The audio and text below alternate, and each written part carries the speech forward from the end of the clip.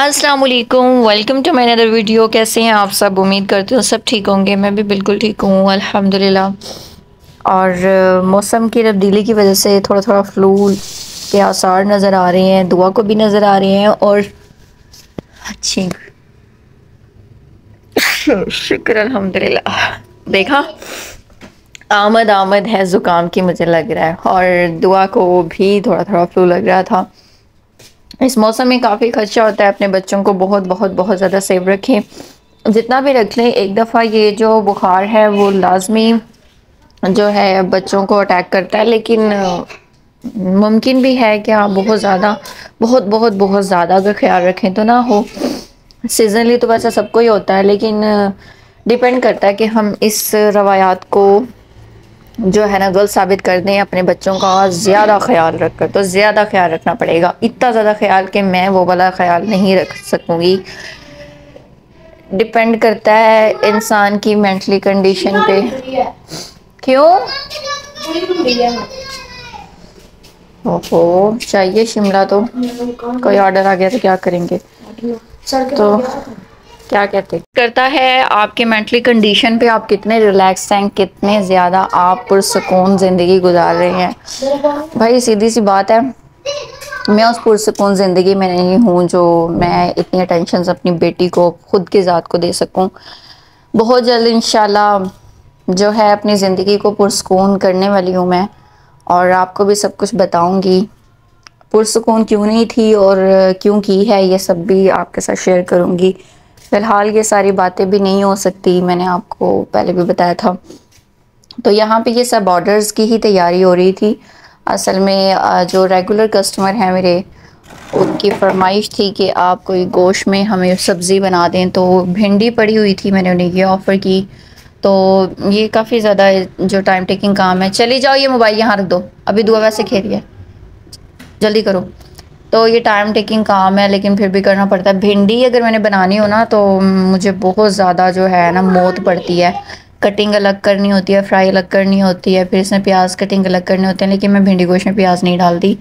अगर सादा भिंडी बनाती हूँ तो उसमें प्याज डालती हूँ। तो ये तरीका है, यहाँ पे मैंने ना जो गोश्त, को जल्दी से प्रेशर लगाया। जैसा कि मसाले में जो प्रेशर प्रेशर मैंने लगाना होता है और बेसिक जो मसाले डालने होते हैं हर गोश्त में, वो मैंने आपको हर जगह पे रेसिपी दी हुई है। तो ये बस आप बना कर रख दिया करें। मैंने बना कर नहीं रखा हुआ था, लेकिन आपको इसलिए कह रही हूँ क्योंकि आपके ऑर्डर्स अल्लाह करे अल्लाह करे ज़्यादा हों और ज़्यादा ही होंगे इस वजह से। और मैं इतने ऑर्डर्स नहीं ले रही, एक हफ़्ते से, डेढ़ हफ़्ते से मैंने किचन में ऐसे बंद किया हुआ है। तो कोई ये रेगुलर जो मेरा ऑनलाइन ऑर्डर है, कुछ सवाल कर रहे थे मुझसे ऑनलाइन ऑर्डर कैसे देती हैं? ऑनलाइन ऑर्डर यही होते हैं जो पांडा पे ऑर्डर आते हैं नंबर निकालना मैंने आप लोगों को सिखाया हुआ है नंबर मैं वहाँ से निकाल लेती हूँ।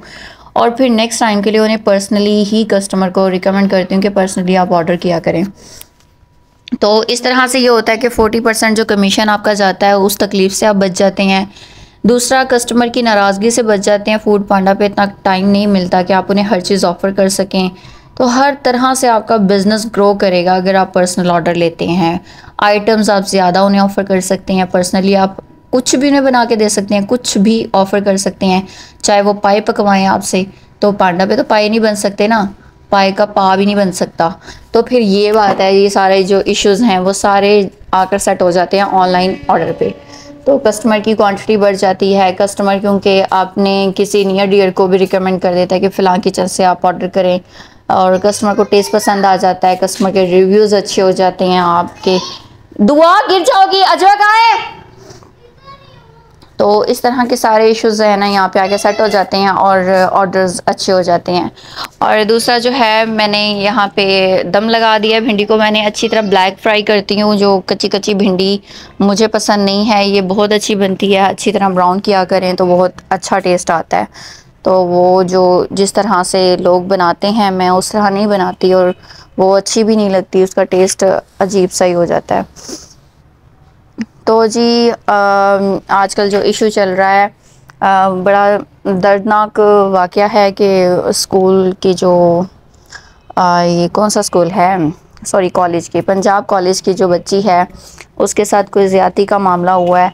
तो मैं इसमें अपना पर्सनल रिव्यू दूँ तो जहाँ तक आ, मैं एडवोकेट हूँ जहाँ तक और वहाँ तक की अगर मैं सोच इस्तेमाल करूँ तो मुझे सीधा सीधा सा ये केस को दबाने की लग रही है साजिश और मुझे नहीं पता ये मेरी वीडियो चाहे रिमूव कर दी जाए या हटा दी जाए हमारी प्राइम मिनिस्टर साहिबा की तरफ़ से तो मरियम नवाज़ साहिबा की तरफ़ से।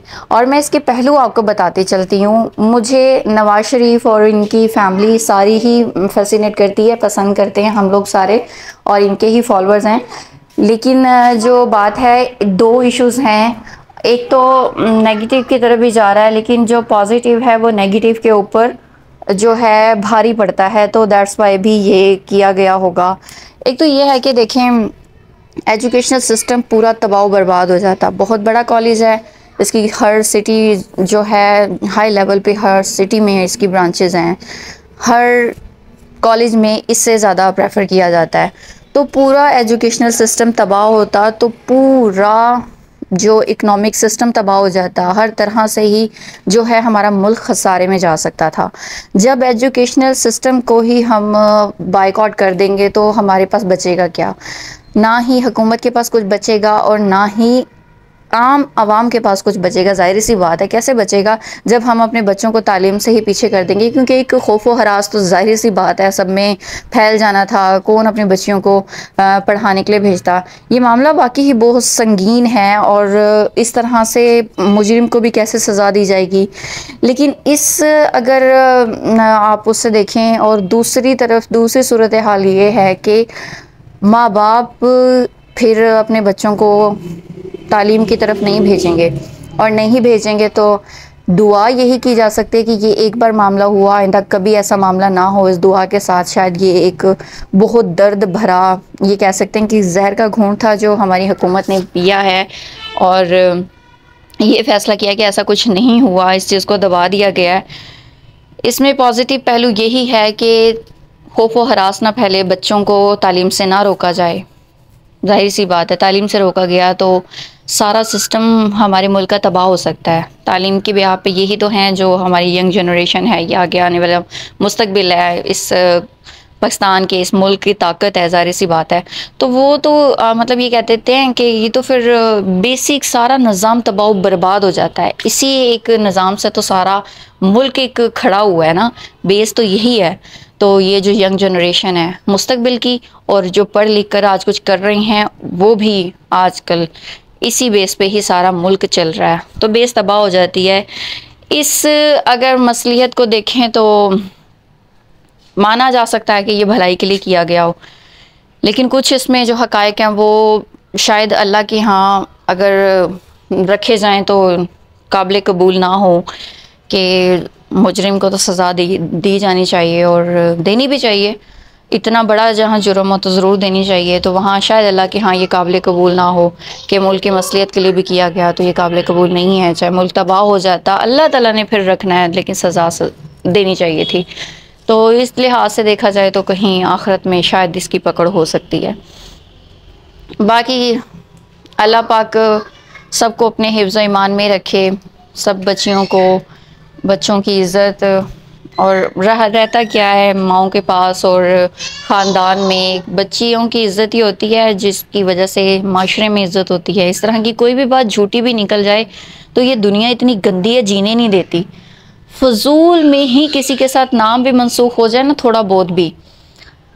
तो ये दुनिया इतनी घटिया, इतनी जलील हो खवार, इतनी गंदी सोच की दुनिया, पता नहीं क्यों है, इनकी अपनी माए बहनें भी हैं माए बेटियाँ भी हैं। एक चलते राही के साथ भी नाम मनसूख हो जाए तो औरत को बदनाम कर दिया जाता है। उस औरत को पता भी नहीं होता किस नाम के साथ उसे मनसूख किया जा रहा है। तो ये तो हमारा माशरा, हम इस ऐसे गंदे माशरे में रहते हैं, जहाँ पे ऐसे गंदे दरिंदे रहते हैं। मैं तो उस मर्द को मर्द ही नहीं समझती जो किसी औरत को, किसी मर्द के साथ मंसूब करके उसका ज़िक्र करता हो। वो मर्द ही नहीं है। वो बेगैरत, मैं तो उन लोगों को कहती हूँ कि वो घटिया, गंदी नाली के कीड़े होते हैं। ऐसे लोगों को हमारे माशरे में रहने की भी इजाज़त नहीं देनी चाहिए। ये वो जहरीले सांप होते हैं जो अपना जहर फैलाते फैलाते और लोगों को भी गंदा करते रहते हैं। फिर सब मर्दों का नज़रिया औरतों के लिए एक ही हो जाता है। हाँ औरतें तो ये, औरतें तो वो। जो भी ये बकवास करते हैं मैं सारे तो यहाँ वीडियो पे नहीं बता सकती। तो ये घटिया लोगों को मैं मर्द नहीं समझती। असल नस्ली अच्छी तरबियत याफ्ता मर्द की निशानी होती है कि उससे औरत का ऐब नज़र भी आ जाए तो वो नज़रों को भी अपनी वहीं से उस पार्ट को रिमूव करके आगे बढ़ जाता है। और नेक्स्ट भी उस औरत से कभी मुखातिब होता है, उसी इज़्ज़त भरी निगाहों से होता है कि जैसे वो उसके बारे में कुछ नहीं जानता था। ये निशानी होती है अच्छे मर्द की। और अच्छे मर्द ऐसे ही होते हैं। तो जी वीडियोस मेरी बहुत बड़ी हो जाएगी और इसके बाद फिर मैंने जो इसमें दिखाया, मैंने फिर इसके बाद फिर एक गोश्त के साथ हांडी को बनाई थी। उसमें से मैंने थोड़ा सा ना गोश्त निकाल लिया था, मुझे दाल गोश्त का दिल कर रहा था। पिछला ऑर्डर था कोई आलू गोश्त का, वो मैंने बना दिया था, उसमें से जो निकाल लिया था, उसमें मैंने दाल गोश्त बना दिया था। तो ये हिस्सा था। इस तरह ही होता है, हर चीज़ एक गोश्त बनाएँ आप सब कुछ जो है, आप ऐड कर सकते हैं। वीडियो बहुत लंबी हो जाएगी तो मैं इस वीडियो को यहाँ पे ख़त्म करूँगी। बातें तो बहुत सी करने वाली हैं, लेकिन इतनी लंबी वीडियो आप लोग देखते ही नहीं हैं। तो जब मैं लाइव आया करूँगी तो फिर बातें क्या करेंगे। अल्लाह हाफिज़, अपना ख्याल रखिएगा।